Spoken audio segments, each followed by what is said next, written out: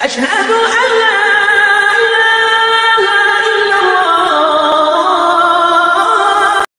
আসসালামু আলাইকুম রহমতুল্লাহি আবরাকাত সুপ্রিয় মুসলিম ভাই বোনেরা এখন সংক্ষিপ্ত আকারে যে কথাটা আমি আপনাদের সামনে বলতে চাচ্ছি সেটা হচ্ছে প্রশ্ন কেন করবেন যেহেতু বর্তমান সময়টা হচ্ছে বিশেষ করে আহ, ইন্টারনেট বা ফেসবুক বা মিডিয়া বা হোয়াটসঅ্যাপ গ্রুপ দেখা যাচ্ছে মিডিয়াতে বা ওয়াজ মাহফিলে প্রশ্ন করা হচ্ছে, মিডিয়াতে প্রশ্ন করা হচ্ছে। তারপরে আপনার সেখানে হোয়াটসঅ্যাপে অনেক গ্রুপ রয়েছে প্রশ্ন উত্তর তো আমি সবাইকে লক্ষ্য করে যে কথাটা বলতে চাচ্ছি, সেটা হলো প্রশ্ন কেন করবেন? আজকে আমরা প্রশ্ন করি, বিভিন্ন ধরনের মানুষ বিভিন্ন প্রশ্ন করি, বিভিন্ন নিয়তে প্রশ্ন করি। কারও নিয়ত থাকে এরকম যে আমি তাকে ছোট করার জন্য প্রশ্ন করব। কারও নিয়ত থাকে এরকম যে আমি উমুককে ছোট করার জন্য প্রশ্ন করব। কারও নিয়ত থাকে এরকম যে আমি উমুককে বাতিল বলে ঘোষণা করার জন্য প্রশ্ন করব। মানে বিভিন্ন ধরনের নিয়ত টেন্ডেন্সি নিয়ে এখন আমরা প্রশ্ন করছি এখন প্রশ্ন হচ্ছে, আমরা প্রশ্নটা কেন করব।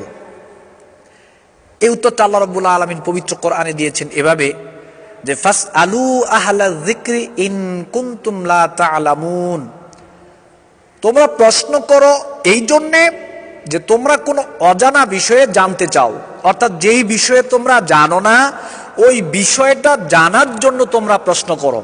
তাহলে প্রশ্নের নিয়ত হলো, যেটা জানি না, ওইটা জানার জন্য প্রশ্ন করব। আর আরেকটা নিয়ত হচ্ছে, ইন উরিদু ইল্লাল ইসলাহ।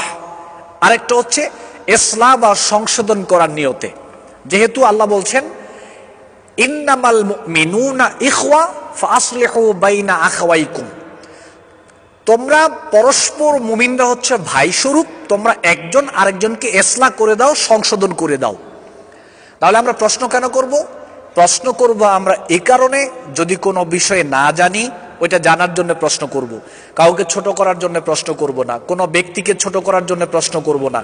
কোনো দলকে ছোট করার জন্য প্রশ্ন করব না। কোনো গোষ্ঠীকে, সমাজকে ছোট করার জন্য প্রশ্ন করব না। আমরা কোনো ব্যক্তিকে ইন্ডিকেট করে, কোনো দলকে ইন্ডিকেট করে, কোনো জনপদ, জনগোষ্ঠীকে ইন্ডিকেট করে আমরা প্রশ্ন করব না। আমরা প্রশ্ন করব সত্যকে জানার জন্যে। সঠিক জিনিসটা আমরা জানার জন্য প্রশ্ন করব। সেখানে যদি আপনি মনে রাখবেন একটা কথা যদি কোনো ব্যক্তিকে ছোট করার জন্য প্রশ্ন করেন, তাহলে আল্লাহ কিন্তু আপনার মনের ব্যাপারটা দেখতে পাচ্ছেন যদি কোনো দল বা জনগোষ্ঠীকে ছোট করার জন্য আপনি প্রশ্ন করেন, কাউকে আঘাত দেওয়ার জন্য প্রশ্ন করেন, তাহলে প্রশ্ন করার পরেও কিন্তু আপনাকে জবাবদিহি করতে হবে। কারণ আপনার মনের খবর কিন্তু আল্লাহ দেখছেন। কুল ইন তুখফু মা ফি সুদুরিকুম আও আল্লাহ বলছেন, তোমরা মনে যা গোপন রাখো, যা প্রকাশ করো, সব কিন্তু আল্লাহ সুবহানাহু ওয়া জানেন, আপনি প্রশ্ন করেন, কোনো নিষেধ নাই। আপনি সত্য জানার জন্য প্রশ্ন করেন। আপনার দিনী ভাইকে সংশোধনের নিয়তে আপনি প্রশ্ন করেন।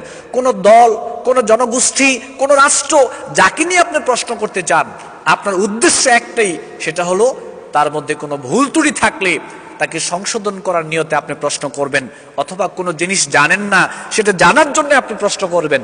কিন্তু কাউকে অ্যাটাক করার জন্যে, কাউকে ছোট করার জন্যে ব্যক্তিগত আক্রোশ আপনি প্রশ্ন করার মাধ্যমে তুলে ধরবেন যে আজকে দেখি একটা প্রশ্ন করব, কেন সামনে আমার শত্রু উপস্থিত? তাকে ছোট করার জন্য আমি ওয়াজ মাহফিল একটা প্রশ্ন করলাম যে না, এই প্রশ্ন করার পর আপনাকে পরকালে জবাবদিহি করতে হবে। আপনি কেন তাকে ছোট করার জন্য প্রশ্ন করলেন? আপনি কেন তাকে আক্রমণ করার জন্য প্রশ্ন করলেন? এই অধিকার আপনাকে ইসলাম দেয় নাই। ইসলাম দিয়েছে, আপনি প্রশ্ন করবেন জানার জন্যে। আপনার দিনী ভাইকে সংশোধন করার জন্যে আপনি প্রশ্ন করবেন। এর বাহিরে যদি অন্য কোনো উদ্দেশ্য আপনার থাকে, তাহলে কিন্তু অবশ্যই আপনি অপরাধীদের কাতারে চলে যাবেন। এটা উচিত নয়, এটা ইমানদারদের বৈশিষ্ট্য নয়। যেহেতু মুসলিম উম্মা ঐক্যবদ্ধ হওয়া খুবই বেশি প্রয়োজন।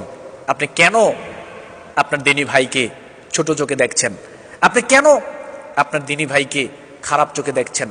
আবু হরাই রাজি আল্লাহ তালা আনহু রসুল সাল্লাহ আলিয়াল্লাম একবার একটা অপরাধ করার কারণে তাকে সাহাবে কারামকে নির্দেশ করলেন তাকে আঘাত করার জন্যে। অতপর আবু হরাই রাজি আল্লাহ আনহু সেখানে এমন একটা শব্দ প্রয়োগ করলেন। আল্লাহ নবী বললেন যে, আবু হরাইরা তুমি কেন তার উপরে তুমি শয়তানকে বিজয় দান করছ? তুমি এমন শব্দ কেন তার উপরে তুমি প্রয়োগ করতে গেলা যে শয়তান তার উপরে বিজয়ী হয়ে গেল? যে না, তোমার এটা বলা ঠিক হয় নাই। সুতরাং আমাদের উচিত শয়তানকে কমে ইমানদারের উপরে বিজয়ী না করা কি দরকার? আপনি একটা প্রশ্ন করে তাকে অ্যাটাক করে আপনার লাভ কি?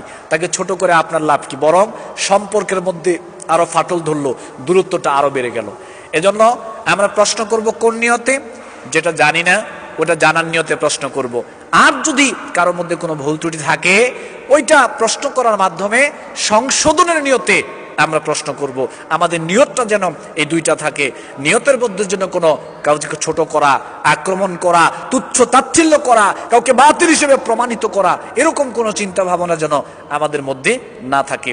আল্লাহ সুবাহান হুয়া তালা আমাদের তৌফিক দান করুন। আমিন। আসসালামু আলাইকুম ওয়া রাহমাতুল্লাহি ওয়া বারাকাতুহু।